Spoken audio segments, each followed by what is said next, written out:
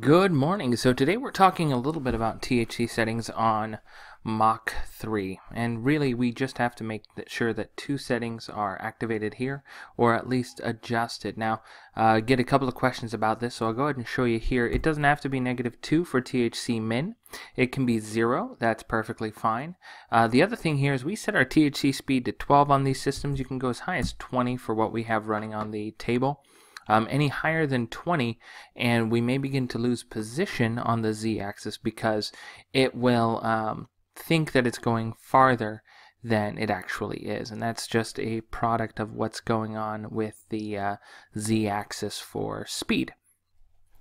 So keep that in mind, the THC speed can't be any faster than the z-axis speed. And we can always check that by going into config, uh, motor tuning here or config here and motor tuning z-axis.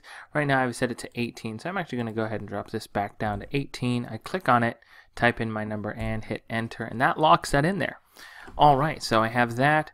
Again this can be 0 and I can set my THC to off. Uh, you don't need to have this green light on because we have a background setting in Mach 3 that allows this to run uh, without that green light on. So keep that in mind. So there's uh, three general settings we want you to keep in mind when setting up your THC.